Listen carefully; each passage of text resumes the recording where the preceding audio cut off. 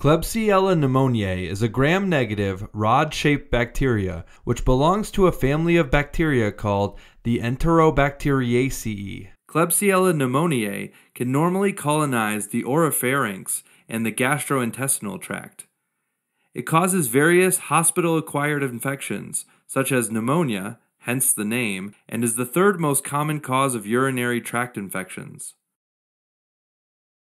Now, Klebsiella pneumoniae has a thin peptidoglycan layer, so like other gram-negative bacteria, it stains pink. And since it's a bacillus, it looks like a little pink rod under the microscope.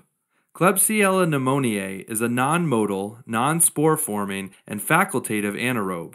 This means it can live even without oxygen, although it grows better in an environment that's aerobic.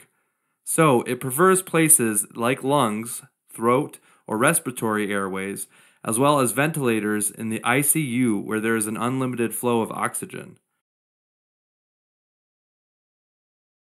Sign up for a free trial today and watch the full video on osmosis.org.